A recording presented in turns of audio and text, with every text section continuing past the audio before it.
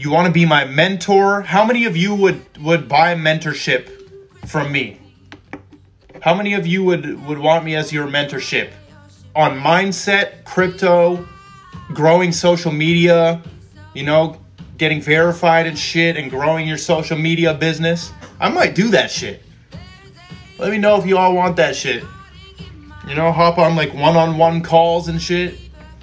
We can get on some one-on-one calls and learn shit because I got a wealth of knowledge in, in social media business, marketing, crypto, spirituality, motivation, all that shit, bro.